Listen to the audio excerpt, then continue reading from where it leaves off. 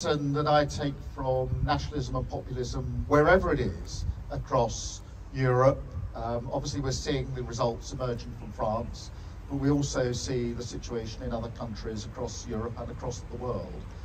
I, the lesson I take from that is that we need to address the everyday concerns of so many people in this country who feel uh, disaffected by politics, who feel that on this Thursday feel either that the country's too broken to be mended,